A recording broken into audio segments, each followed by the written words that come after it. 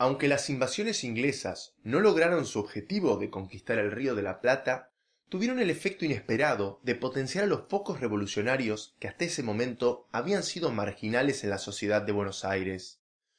La formación de milicias locales, fuertemente armadas, y la destitución del virrey Sobremonte habrían sido algo imposible de imaginar antes de 1806. En este capítulo vamos a ver cómo americanos y peninsulares comienzan a jugar sus piezas para ganar más poder sobre la colonia. Hasta ese momento, las colonias habían estado plenamente subordinadas a los intereses de España, pero los recientes eventos les dieron a los americanos las herramientas para poner en duda el poder peninsular. Las tensiones no hicieron más que crecer, especialmente en Buenos Aires. Saavedra resumió la situación al decir, Acostumbrados los peninsulares a mirar a los hijos del país como sus dependientes y a tratarlos con el aire de conquistadores, les era desagradable verlos con las armas en la mano, y mucho más el que con ellas se hacían respetables. Muchos pidieron que se desmantelaran los cuerpos de milicias americanas, pero los rumores de una tercera invasión británica que se esperaba para mediados de 1808 y la imposibilidad de traer refuerzos desde España frustraron esos pedidos. Aunque la situación era inestable, todavía estaba demasiado lejos la posibilidad de desencadenar algo tan revolucionario como la independencia. Los americanos lo tenían bien claro, y Belgrano se lo hizo saber al general Crawford mientras éste estaba prisionero en el fuerte. Ciertamente, nosotros queríamos al amo viejo o a ninguno, pero nos faltaba mucho para aspirar a la empresa, y aunque ella se realizara bajo la protección de la Inglaterra, ésta nos abandonaría si se ofreciera un partido ventajoso en Europa. Crawford convino conmigo, y manifestándole cuánto nos faltaba para lograr nuestra independencia, difirió para un siglo su consecución.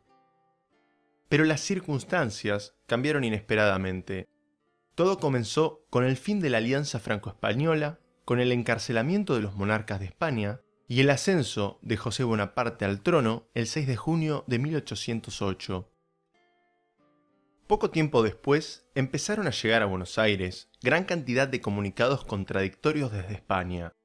José Bonaparte y las juntas opositoras competían por ser los primeros en comunicar su versión de los hechos y asegurarse la lealtad de las colonias. Los gobiernos coloniales tenían la poco envidiable tarea de elegir qué órdenes seguir. Para Liniers era todavía más difícil por su nacionalidad francesa, que despertaba las sospechas de muchos españoles. A Liniers le llegaron primero las noticias de la Junta de Madrid, el 30 de julio de 1808, que le ordenaba obedecer a los franceses.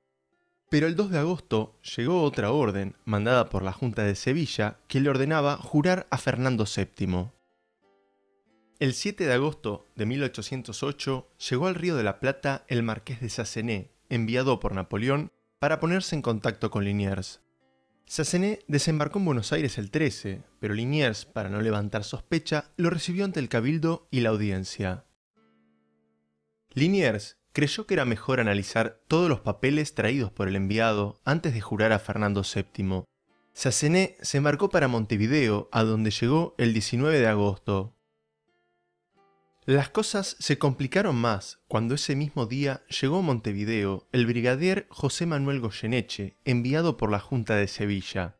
Esta junta, que era antifrancesa, le informó a las colonias del levantamiento contra Napoleón la alianza con Gran Bretaña y la formación de las juntas de gobierno. Entre las órdenes que traía Goyeneche estaba la de arrestar a cualquier francés que estuviera en los territorios españoles. Francisco Javier de Lío aprovechó la oportunidad de actuar y arrestó por su cuenta a Sassené. A los pocos días, Goyeneche llegó a Buenos Aires, lo que aceleró la jura de Fernando VII en la ciudad el 21 de agosto.